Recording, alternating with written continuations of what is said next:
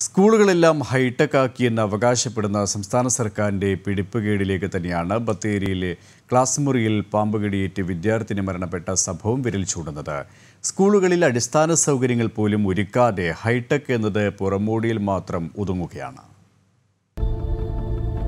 വിദ്യാർത്ഥിനി പാമ്പുകടിയേറ്റ് മരിച്ച ബത്തേരിയിലെ സർവജന സ്കൂളിലെ ക്ലാസ് മുറിയാണിത്.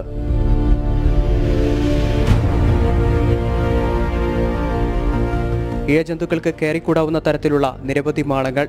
ഇതിന് സമാനം തന്നെയാണ് സ്കൂളിലെ മറ്റ് ക്ലാസ് മുറികളും. നിരവധി തവണ ഇതിനെതിരെ പരാതിപ്പെട്ടിരുന്നതായാണ് കുട്ടികൾ പറയുന്നത്. എന്നാൽ അധികൃതർ വേണ്ട രീതിയിൽ അതിനെ ഗൗനിച്ചില്ല. ഒരുപക്ഷെ കുട്ടികളുടെ പരാതിയിൽ നടപടി സ്വീകരിച്ചിരുന്നെങ്കിൽ ഷെഹല ഷെറിൻ എന്ന പൊന്നോമനിക്ക് ജീവൻ നഷ്ടമാകില്ലായിരുന്നു. വാതോരാതെ കേരളത്തിലെ സ്കൂളുകളെല്ലാം ഹൈടെക് ആക്കിയെന്ന് പറയുന്ന സംസ്ഥാന സർക്കാരിന്റെ പിടിപ്പുകേട് തന്നെയാണ് ഷെഹലിയുടെ മരണത്തിന് പിന്നിലെന്നതിൽ സംശയമില്ല. ഇതിന് ഫിറ്റ്നസ് സർട്ടിഫിക്കറ്റ് കൊടുത്തിട്ടുള്ള ആളുകൾ എന്ത് പരിശോധനയുടെ അടിസ്ഥാനത്തിലാണ് ഇത് ഫിറ്റ്നസ് സർട്ടിഫിക്കറ്റ് കൊടുത്തതെന്ന് നമുക്ക് പരിശോധിച്ചാൽ മതിയാവുള്ളൂ.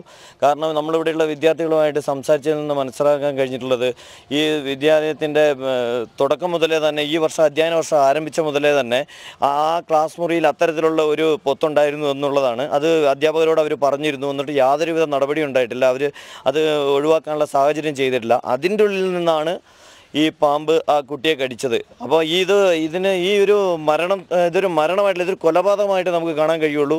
ഇത് ഗവൺമെന്റിന്റെ അനാവസ്ഥയാണ് ഇവിടെയുള്ള ഉദ്യോഗസ്ഥരുടെ അനാവസ്ഥയാണ് ഇവിടുത്തെ അധ്യാപകരുടെ അനാവസ്ഥയാണ് ഹൈടെക് സ്കൂളുകൾ എന്നത് പുറംമൂടിയിൽ മാത്രമാണ്. സ്കൂളിനകത്ത് കുട്ടികൾക്ക് അടിസ്ഥാന സൗകര്യങ്ങൾ പോലുമില്ല.